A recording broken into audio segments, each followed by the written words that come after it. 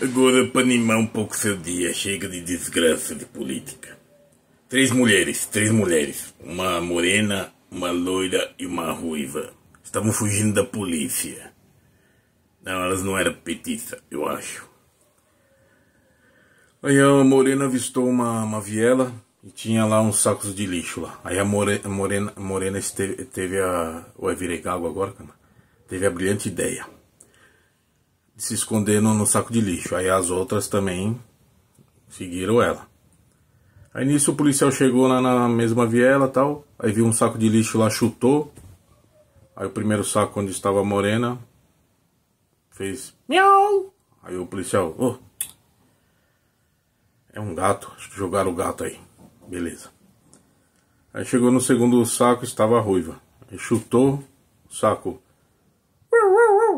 Aí o policial, acho que largaram o cachorro aí. Aí ele foi pro próximo. Aí ele chutou o saco. Aí o saco.